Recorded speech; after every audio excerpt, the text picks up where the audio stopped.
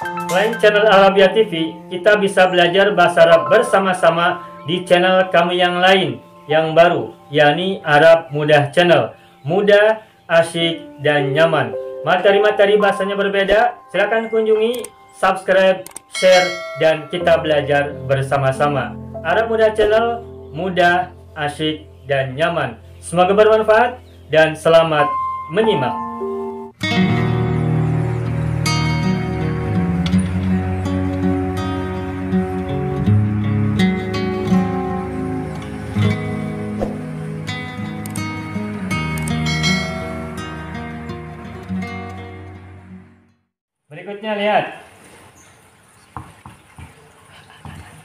Mazra'atun. Tebak-tebakan dulu ya. Manfaatun. Maslahatun. Mistoratun. Madrasatun. Dan lain-lain. Tebak ini gimana zamannya? Mazraatun, manfaatun, maslahatun, mistoratun, madrasatun. Hah? Hitung dulu jumlah hurufnya berapa? lima Lima huruf. Ada ciri unik nggak? cukup patah Awalnya mah Awalnya patah. Yang ini kasroh. Nah. Kalau untuk ini rumusannya mudah. Ada kata terdiri dari lima huruf dan huruf kelimanya tamar butoh tanpa adanya pemanjang di situ. Kalau ada kata atau isim terdiri dari lima huruf, huruf kelimanya adalah tamar butoh karena muannas. Terus ini yang penting tidak ada huruf pemanjang dalam kata itu, maka pola zamannya kayak masjidun, masajidu. Maka mazra'atun menjadi mazari'un, sawah-sawah. Mazari'un. Sama dengan pola yang muzakkar, masjidun, masajidu. Sama persis polanya. Manfaatun, manfaat-manfaat apa? Manafi'u. Manafi'u, maslahatun, kemaslahatan. Masolihu. Masolih. Mistoratun, penggaris. Masatir Masatiru. Madrasatun, Madarisu. madarisu. Ada isim mu'anas lima huruf, huruf terakhirnya tamar butoh tentu karena mu'anas. Terus apa cirinya tadi? Tidak ada pemanjang. Tanpa ada huruf pemanjang, maka pola jamannya adalah a a i u. Dah gampang. Selesai. Nah, terus sekarang begini. Sekarang berikutnya. Syariatun. Hakikatun. Terus eh, musibatun. Koritotun.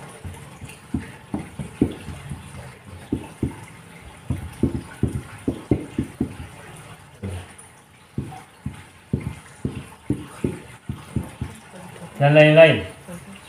Itu berapa huruf? Lima Lima. Sama, sama dengan tadi lima huruf ya?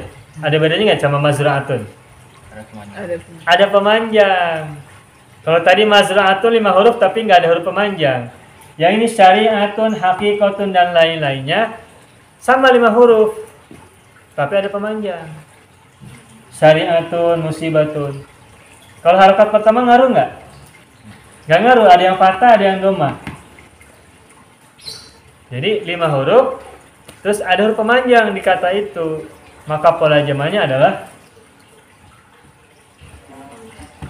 sama dengan tadi A, cuman huruf ya-nya diganti jadi hamzah. Lalu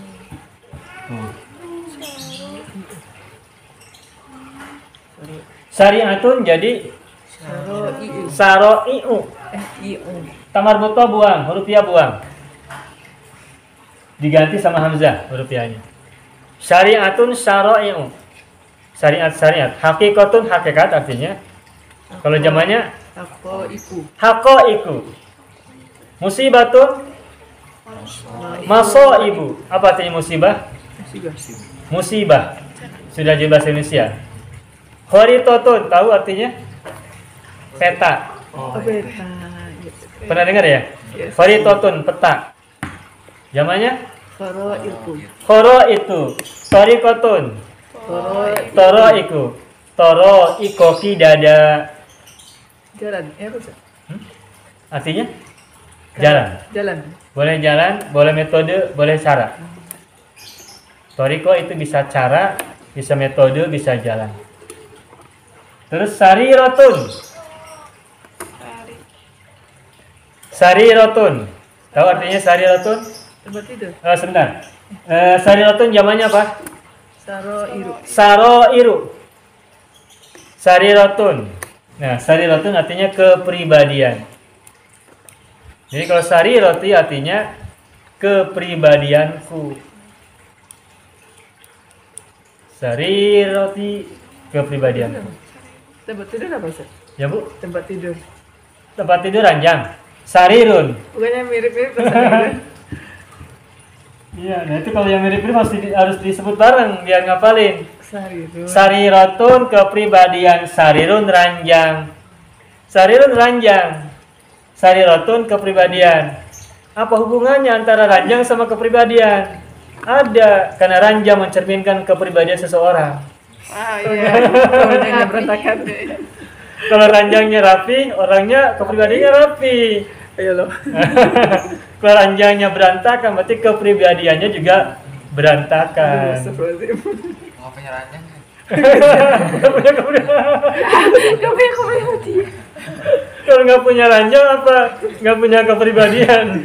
Kenapa? Kepribadiannya belum ada, belum dibentuk. Jadi, jadi biar nggak dinilai kepribadiannya tanpa ranjang. Sarirotun apa tadi?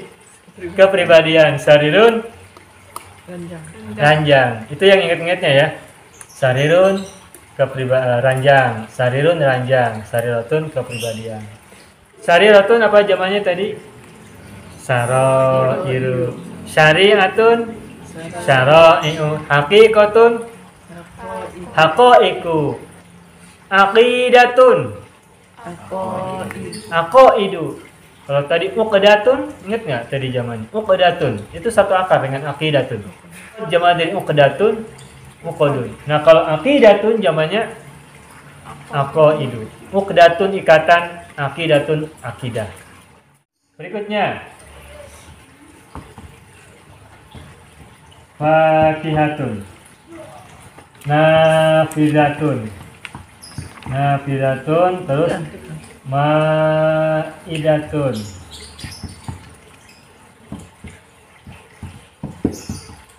dan tun.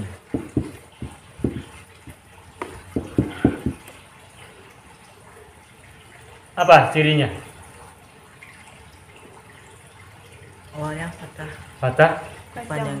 panjang oleh alif nah ini cirinya panjang alif lima huruf tetap lima huruf tetapi huruf pertamanya patah panjang oleh alif.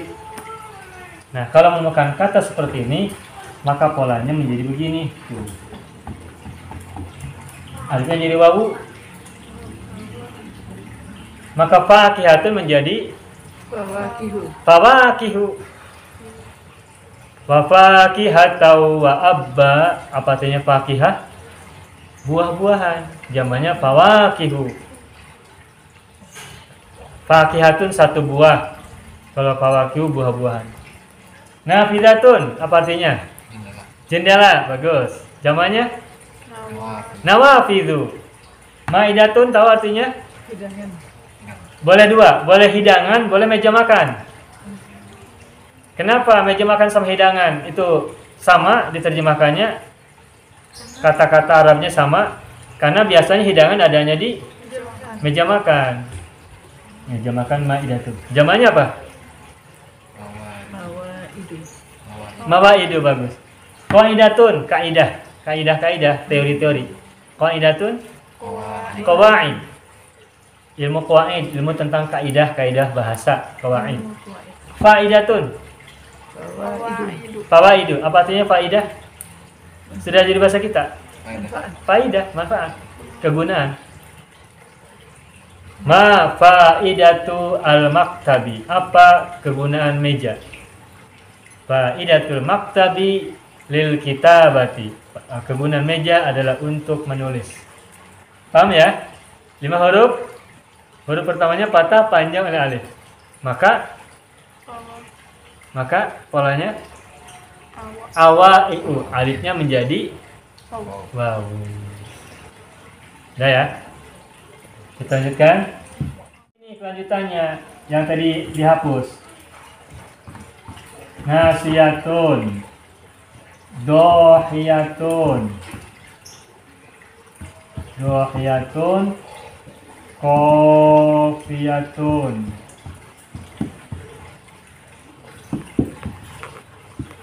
Aniyatun. Apa coba? Tebak cirinya. Panjang. Pertamanya patah panjang, sama dengan yang tadi.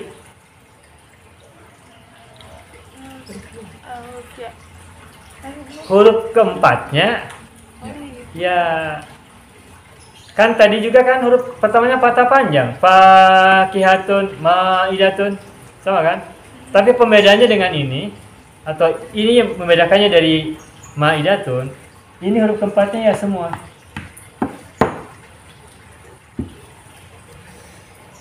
Nah, kalau huruf kalau huruf keempatnya adalah ya, tentang alif sama berubah jadi wawu.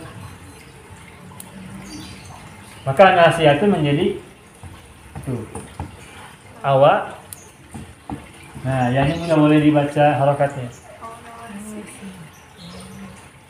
Nasihatun nawasi bin nawasi wal aqdam.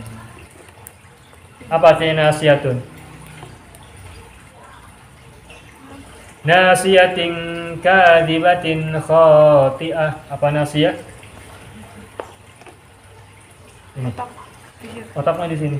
Ini. Yang denyut denyut denyut. Ubun ubun. Ubun ubun.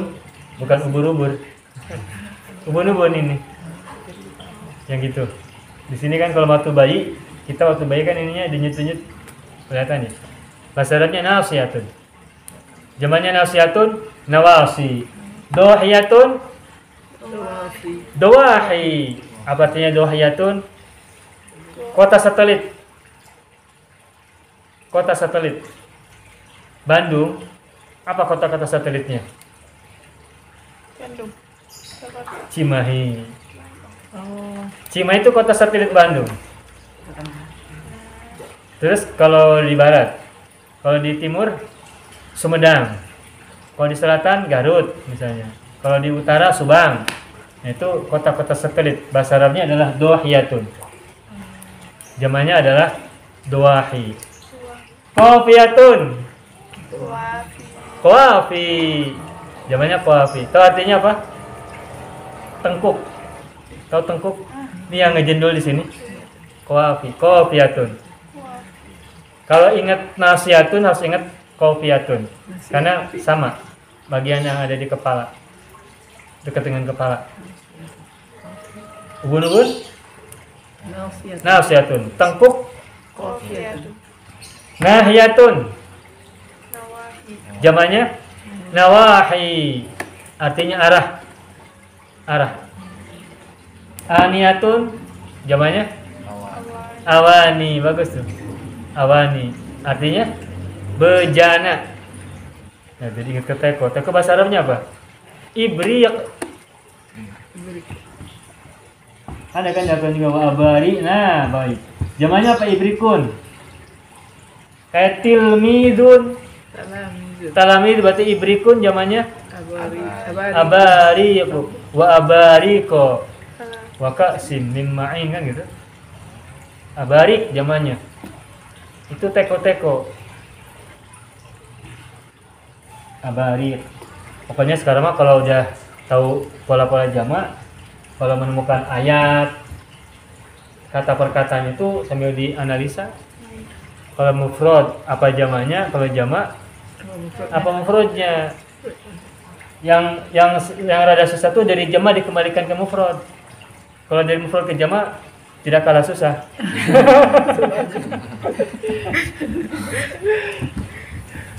iya. Ya maksudnya mufrad ke jamak itu perlu perlu latihan. Nah, dari jamak ke mufrad itu lebih ini lagi, lebih susah lagi.